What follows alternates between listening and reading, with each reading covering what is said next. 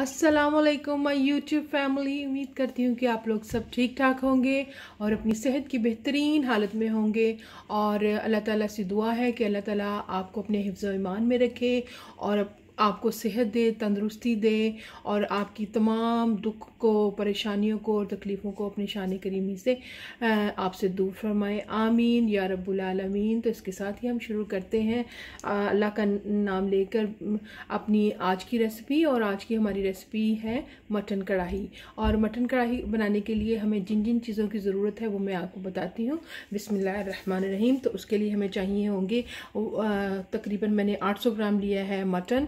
और उसके लिए मैंने ली हैं कोई आठ से दस जो है वो बुलेट ग्रीन चिल्ली और जूलियन कटा हुआ मैंने अदरक लिया है। आप देख सकते हैं, तकरीबन ये तीन इंच का टुकड़ा था और उसको मैंने जूलियन शेप में काट लिया है। आप देख सकते हैं, इनको मैंने जूलियन शेप में काट लिया था अदरक को। और उसके साथ मुझे चाहिए होगा एक कप ऑयल जो कुकिंग ऑयल है वो मैंने ले लिया। आप इसको घी में भी बना सकते हैं लेकिन मैं यहाँ पे सनफ्लावर ऑयल यूज़ कर रही हूँ। और आ, मुझे चाहिए हैं टमाटर है जो कि मैंने पाँच अदद दिए हैं लिए हैं मैंने टमाटर और टमाटरों को मैंने आ, पील कर लिया था पीलर की मदद से। और क्योंकि मेरे टमाटर थोड़े से सख्त थे तो इसलिए ईजी था पील करना। आप इनको ब्लांच भी कर सकते हैं। और तीन टेबल स्पून भर कर मैंने सब्ज़ धनिए का लिया है जिसे धोकर मैंने काट लिया है। और दो टेबल स्पून भरकर मैंने गार्लिक लिया है, जिसको मैंने रफली कुंडी में पीस लिया है। और एक टीस्पून जो है, वो मैंने नमक का लिया है। और वन टेबल स्पून जो है, वो मैंने क्रश पेपर का लिया है। लाल जो कुटी हुई मिर्च होती हैं, उनका लिया है। और एक टेबल स्पून जो है, वो मैंने काली मिर्च का लिया है, जो कि रफली जो है ग्राइंड है। और दो टेबल स्पून मैंने लिया है ज़ीरा और सूखा धनिया, जिसको मैंने रोस्ट कर लिया है। और रोस्ट करके मैंने इसको कुंडी में पीस लिया है। बिल्कुल फाइनली पीसा नहीं है, बल्कि इसको मैंने क्रश कर लिया है। और एक चम्मच जो होगा, वो एक टेबल स्पून जो मुझे गर्म मसाले का चाहिए। तो चले फिर हम अपनी रेसिपी शुरू करते हैं। पैन को मैंने चूल्हे पर रख दिया है और ऑयल हमारा गर्म हो चुका है।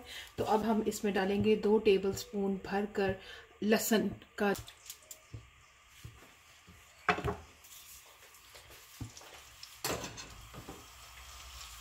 अब हम लहसुन की थोड़ी भुनाई कर लेंगे।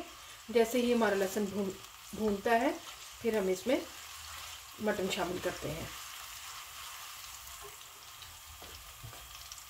हल, हल्का सा सुनहरी हमारा लहसुन होता है तो साथ ही मैं 800 ग्राम जो मैंने मटन लिया था वो इसमें शामिल कर देती हूँ। जी तो अब मैंने लहसुन में गोश्त को शामिल कर दिया है। अब गोश्त की भुनाई करते हैं। तकरीबन 10 मिनट तक। जी तो गोश्त को चार से पाँच मिनट भूनने के बाद मैंने इसके ऊपर लिड दे दिया है। तो आप देख सकते हैं कि गोश्त ने खुद अपने से बहुत सा पानी छोड़ दिया है। तो मैंने इस इस इस वक्त मैंने क्या किया है कि इसकी आँच को बिल्कुल हल्का कर दिया है और हल्का करके मैंने इसको तकरीबन दम पे रख दिया है। और आपने भी ऐसे ही करना है, मैंने तकरीबन बीस मिनट के लिए इसको दम पे रख रही हूँ। तो चिकन की बुनाई करते हुए मुझे तकरीबन 20 मिनट हो चुके हैं।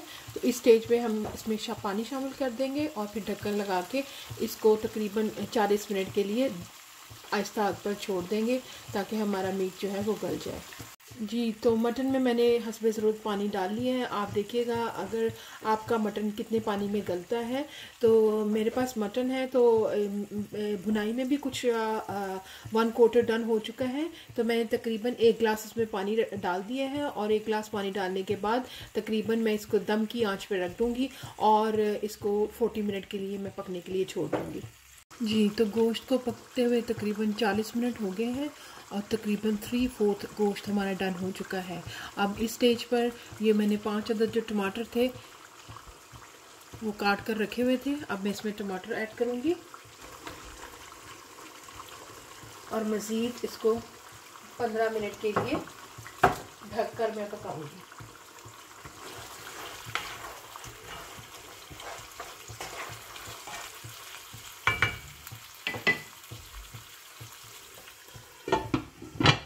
जी तो गोश्त हमारा भुन चुका भुन चुका है और तकरीबन हम गोश्त गल चुका है और अभी स्टेज पे ये जो मैंने आपको एक टेबल स्पून भरकर कुटी हुई लाल मिर्च बताई थी वो उसको शामिल करेंगे। एक टेबल स्पून जो मैंने आपको आ, काली मिर्च बताई थी वो शामिल करेंगे।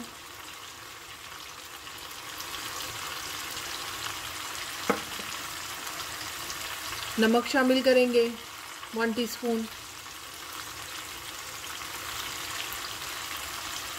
अब इनको मिक्स करेंगे।